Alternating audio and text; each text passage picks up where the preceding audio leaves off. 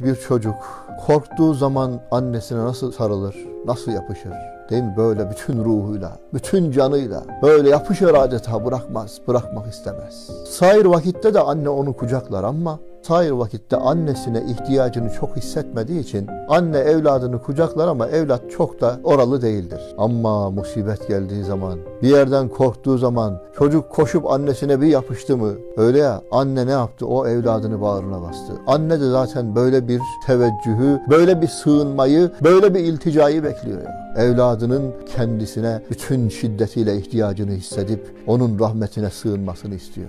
Aynı sonsuz merhamet sahibi Cenab-ı Hak da şu hadiselerde, şu musibetlerde bizden kat'i bir ilticayla, bütün himmetimizle, gayretimizle, şevkimizle, ihtiyacımızı hissederek yapışmamızı, onun şefkat ve merhametine bütün kuvvetimizle tutunmamızı istiyor bizden. Ey maraza müptela hasta! Bu zamanda tecrübemle kanaatim gelmiştir ki hastalık bazılara bir ihsanı ilahidir, bir hediye-i rahmanidir. Bakın hastalık herkes için bir ihsan, bir hediyedir demiyor. Bazılara diyor. Ne demek bu? Öyleyse biz hastalığın ihsan mı, ikram mı yoksa bela mı, ceza mı, azap mı, kahır mı olduğunu nereden bileceğiz? Acaba bizim için hastalık ihsan mı, ikram mı yoksa bela ve ceza mı, kahır mı? Allah bizim belamızı mı verdi, cezamızı mı verdi, kahretti mi yoksa bir ihsan mı, bir ikram mı, bir hediye mi? Ha bu şahsa göre değişiyormuş. Demek bizim elimizde ne var? Kendimiz hakkında belayı, cezayı, kahrı, değil mi? Nimete, hediyeye bir ikaza çevirebiliriz. Demek hani krizi fırsata çevirmek diyorlar ya. Demek her insana, her şahsa göre ne yapıyor? Hastalık ayrı bir hüküm alıyor. Bela dediğimiz şey nedir aslında musibet dediğimiz şey her şahsa göre başka bir manaya, başka bir ahkama, başka bir hükme tabi oluyor. Yani bazısı için kar, bazısı için iltifat, bazısı için nimet, aynı musibet bazısı için de Allah'ın cezası. Şimdi açacak. Bu 8-9 senedir liyakatsız olduğum halde bazı genç zatlar hastalık münasebetiyle dua için benimle görüştüler. Dikkat ettim ki bakın her hadiseye şuradaki bakış açısıyla baksak var ya hayatta Allah'ın izniyle hiçbir hadise, hiçbir sıkıntı, hiçbir musibet, hiçbir tazikat bizi yıkamaz. Şu bakış açısını bir yakalayabilsek. Kışın içinde yaz baharı yaşarız ya. Ne demek bakın. Bu 8-9 senedir liyakatsız olduğum halde bazı genç zatlar hastalık münasebetiyle benimle görüştüler. Dua istemeye gelmişler. Dikkat ettim ki Bediüzzaman Hazretleri onlar Bediüzzaman'dan dua istemeye geliyorlar şifa için. Bediüzzaman onlarda neye dikkat ediyor bakın. Bizim de dikkat etmemiz gereken meseleye bakın şimdi. Dikkat ettim ki hangi hastalıklı genci gördüm sair gençlere nispeten ahiretini düşünmeye başlıyor. Gençlik sarhoşluğu yok. Gaflet içindeki hayvani hevesattan bir derece kendini kurtarıyor. Ben de bakıyordum. Onların tahammül dahilindeki hastalıklarını bir ihsanı ilahi olduğunu ihtar ederdim. Ha, bu neymiş? Bir ihsanı ilahi. Neden? Çünkü bir şeyin ihsan mı, ikram mı, nimet mi yoksa bela mı veya musibet mi olduğuna nasıl karar veriyorduk? Neticesi itibariyle. Şimdi zahirine o andaki bize verdiği sıkıntıya değil, neticesine bakacağız. Neticede ne var? Netice nereye gitti? Bu hadise bize kar mı getirdi yoksa zarar mı? Bu hadise bize kazandırdı mı kaybettirdi mi? Ha bir musibet, bir hastalık. Bize kaybettirdiklerine karşılık kazandırdıkları o kadar çok ki. Bakın şu anda şu virüs musibetinin, şu virüs belasının dünyaya kaybettirdikleri çok fazla. Ama dünya insanına kazandırdıklarının yanında vallahi kaybettirdiklerinin hiçbir kıymeti yok. Niye? Neden? Çünkü sadece dünyalık bakarsanız meseleye doğru bir beladır. Allah'ın bir cezası. Çünkü adamın tek dünyası var. Onun başına da böyle bir virüs gelmiş. Eve hapsolmuş, tıkılmış, çıkamıyor. Veya değil mi hastalığına veya ölümüne vesile olmuş. 50-60 senelik dünyadaki hayatı gitmiş, mahvolmuş. Canından etmiş onu. Ama şu virüsün insanlığı ikaz edip insanlığı uyandırıp insanları kendine getirerek öyle büyük bir mesajı, öyle büyük bir karı, öyle büyük bir kazancı var ki şu dünya hayatımıza verdiği 3 kuruşluk, 3 günlük veya 50-60 senelik zarara bedel ebedi hayatımıza sonsuz faydalar verecek bir surette uyanmamıza, rotayı bulmamıza, Rabbimizi tanımamıza, şu hayatı dünyeviyenin, şu dünya hayatının fani ve geçici olup asıl hayatın kabrin öbür tarafında ebedi bir hayat olduğunu anlamamıza vesile olmadı mı? Ha, demek netice itibariyle bakacağız her hadiseye neticesi itibariyle yani ahirete bakan cihette yani benim ebedi hayatıma verdiği kar ve ziyan cihetinde öyleyse asıl musibet ve muzır musibet dine gelen musibettir. Şimdi diyelim birisi sizi tehdit etse Adam hırsız, tehdit ediyor. Ne yapabilir? En fazla sizi malınızdan eder. Arabanızı çalar, paranızı çalar, malınızı, mülkünüzü çalabilir. Ama başka biri tehdit etmiş, adam sizin canınızı tehdit ediyor. Bu daha te- tehlikelidir, daha dehşetlidir. Çünkü malınızın alınması telafi edilebilir. Ama canınız alındı mı telafisi yok ki. Adam gangaster. Sizi tehdit ediyor. Canına kıyacağım senin diyor. Şimdi daha büyüğü olabilir mi? Bir insanın canına kıymaktan, değil mi? Hayatını tehdit etmekten daha büyük ne olabilir ki? Evet daha büyüğü var. İşte nefis ve şeytan bizim için daha büyük bir tehlike. Neden? Çünkü o bizim ebedi hayatımıza kastetmiş.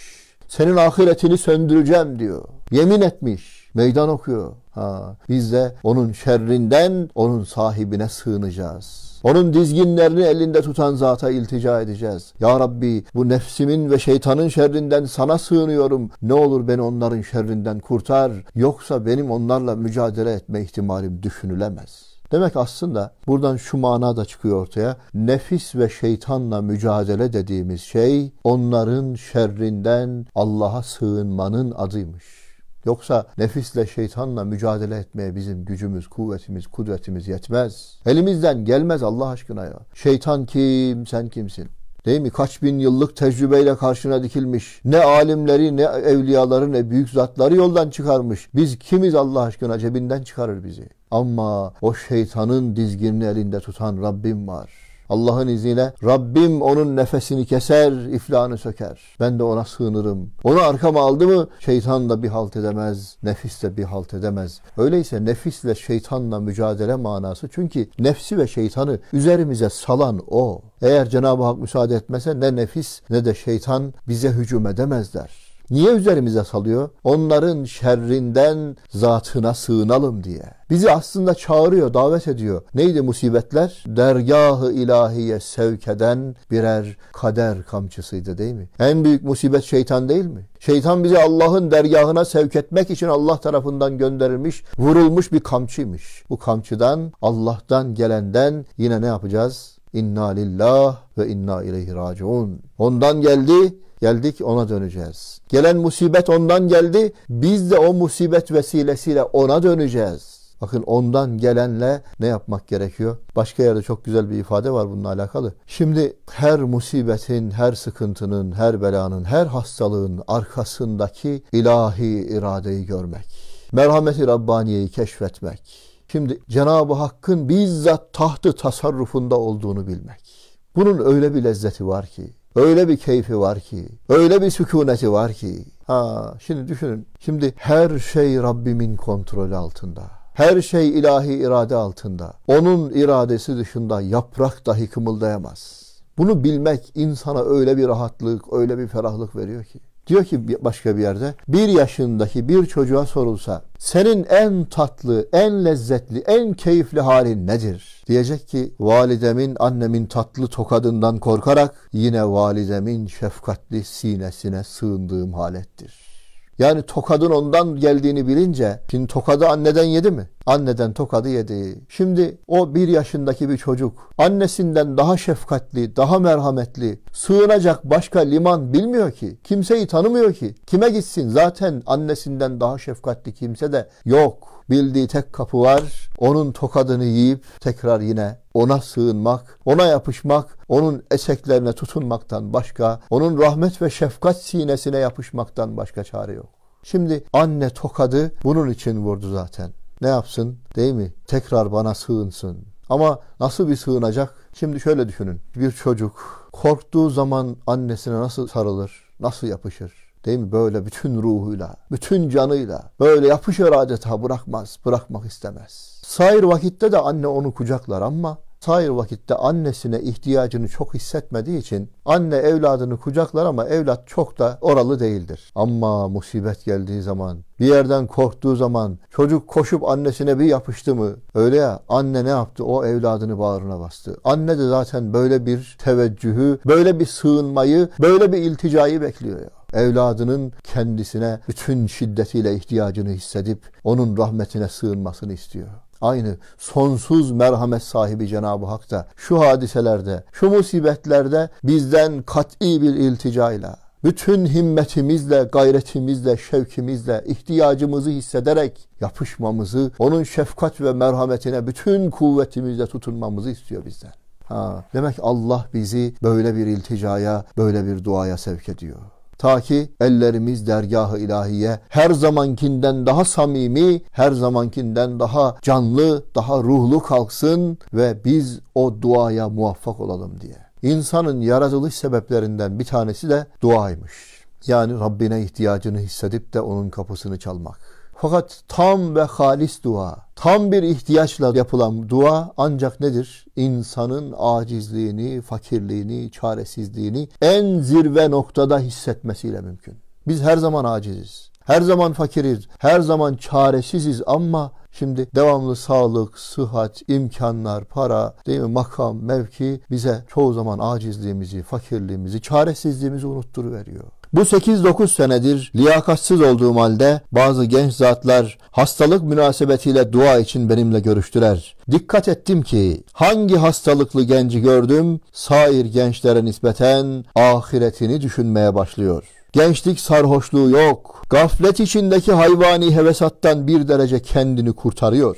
Ben de bakıyordum. Onların tahammül dahilindeki hastalıklarını bir ihsanı ilahi olduğunu ihtar ederdim. Derdim ki şimdi maddi bir hastalık, üç günlük dünyamızı sıkıntıya sokacak bir hastalık bizi manevi ve ebedi hastalıklardan kurtarıyorsa o hastalık değil, o ameliyattır, o şifadır. O hakikatte hastalık gibi görünse de hakikatte nedir? Bir ilaçtır ilaç. Allah Allah. Cenab-ı Hak derman gönderiyormuş ya. İlaç gönderiyor bize. Derdim ki kardeşim senin bu hastalığının aleyhinde değilim. Hastalık için sana karşı bir şefkat hissedip acımıyorum ki dua edeyim. Hastalık seni tam uyanırın, uyandırıncaya kadar sabra çalış ve hastalık vazifesini bitirdikten sonra Halik-i Rahim inşallah sana şifa verir. Zaten hastalığın bir vazifesi var. Vazifesini bitirdi mi zaten gider. Ama sen hastalığın vazifesine yardım et de bir an evvel bitirsin. Hastalığın vazifesi neydi? Seni uyandırmak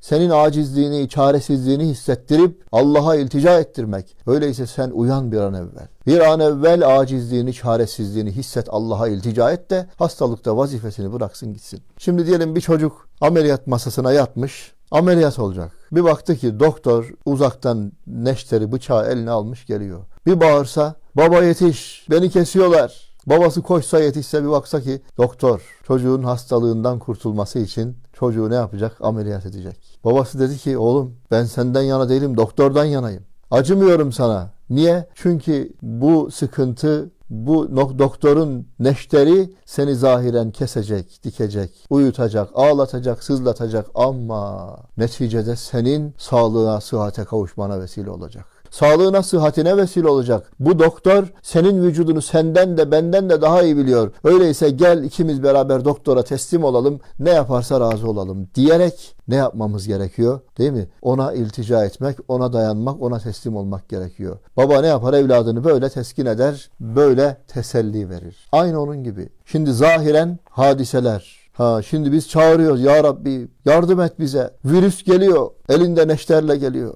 Ya Rabbi yardım et bu hastalık geliyor. Ya Rabbi yardım et şu geliyor bu geliyor. Ha, biz gerçekte hakikatte uyanabilseydik virüse ihtiyaç olmayacaktı.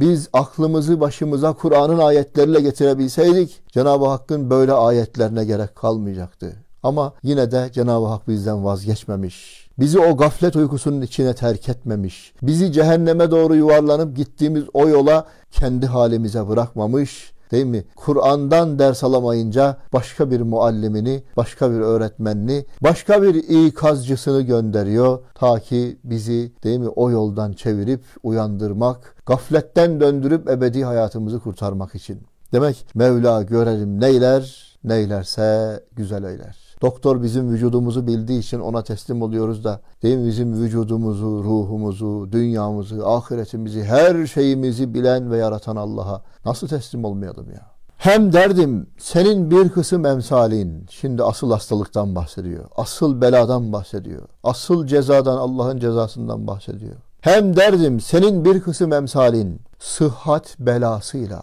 gaflete düşüp namazı terk edip kabri düşünmeyip Allah'ı unutup bir saatlik hayatı dünyeviyenin zahiri keyfiyle hadsiz bir hayatı ebediyesini sarsar, zedeler, belki de harap eder. Sen hastalık gözüyle her halde gideceğin bir menzilin olan kabrini ve daha arkasında uhrevi menzilleri görürsün ve onlara göre davranıyorsun. Demek senin için hastalık bir sıhhattir, bir kısım emsalindeki sıhhat bir hastalıktır. Demek hastalıklar, musibetler insanın itikadına göre ya bela veyahut nimetmiş, ya sıhhatmiş veya hastalıkmış. Neticesine bakacağız. Bizi Allah'a yaklaştırıyorsa, ahiretimize fayda veriyorsa, ilticaya vesile oluyorsa öyleyse bu hastalık mürşit ya, irşad ediyor. Hani bir şeyh bir müridi irşad eder. Değil mi? Bir mürşit bir insanı irşad eder rotasını cehennemden cennete çevirir ya aynı onun gibi hastalıklar, musibetler, virüsler her biri birer mürşitmiş. Ama aldatmaz bir mürşit. Hem de mürşidin sözü tesir etmeyebilir. Biz mürşidin sözüne itimat etmeyebiliriz. Mürşidin dersinden değil mi etkilenmeyebiliriz. Ama şu virüsten etkilenmeyen var mı? Şu virüsün vaazından, nasihatından etkilenmeyen var mı? İnanan, inanmayan herkes etkileniyor. Tir tir titretiyor. Ha, insanların rotasını çeviriyor. İnşallah göreceksiniz, göreceğiz hep beraber. Şu virüs dünyanın gidişatını değiştirecek inşallah. Dünyadaki zalimlerin elinden dünyayı, dünyanın ipini zalimlerin elinden kurtaracak inşallah. Dünyanın uyanmasına, dünyanın Allah'a teveccüh etmesine inşallah vesile olacak.